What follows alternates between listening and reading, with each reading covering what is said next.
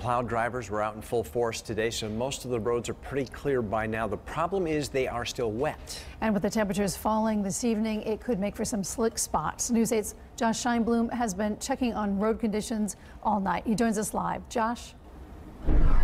And in Darren, city officials say that the roads are clear here in New Haven, but it is still all hands on deck. One of the big reasons for that has to do with the cold temperatures that are rolling in and trying to combat icy conditions out there on the roads. A day full of snow meant a busy end of the week for people like Josh Adams. I'm a plow guy, man, making it happen, getting the streets safe for everybody out here moving this dirty diaper, wet, heavy snow. When we met Josh Friday afternoon, he was wrapping up a 14 hour day behind the wheel. How does this compare to the last storm? Uh, this is like a phone in.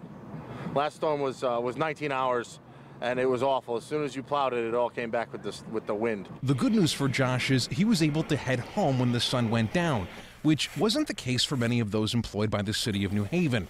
Tasked overnight with moving more snow along with salting the roadways that crews had begun plowing out at 4 a.m. Rick Fontana is New Haven's Director of Emergency Operations. Our big thing is going to be get the snow to the curb so people can come downtown, so people can park at home, and that's going to be our goal. It's going to take a little bit of time, though. But if this storm was actually easier this time around is definitely in the eye of the beholder.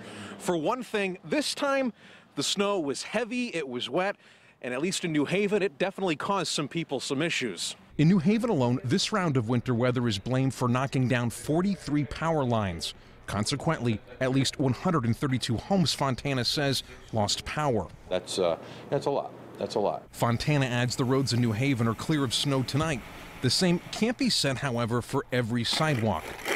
I actually started, I think, right after it stopped snow. Where shovels.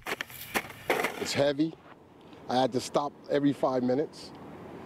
I'm older than I look. Snow blowers.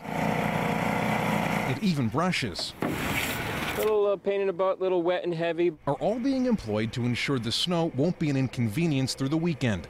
Josh calls that a true team effort. Say New Haven does a great job. They got a monster job to do.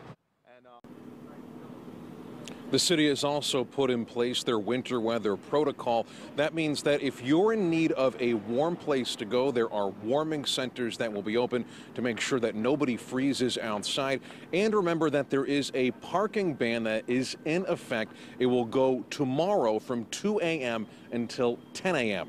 For now, we're live in New Haven. Josh Scheinblum, News 8.